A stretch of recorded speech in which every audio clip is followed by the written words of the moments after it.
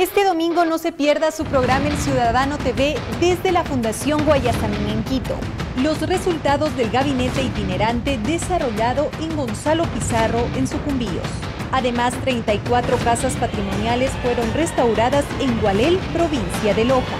Y en Pastaza se realizó la primera Asamblea Cultural Ciudadana. Le contaremos de qué se trata. Recuerde, nuestra cita es este domingo a las 13 horas 30 por Ecuador TV. Los esperamos.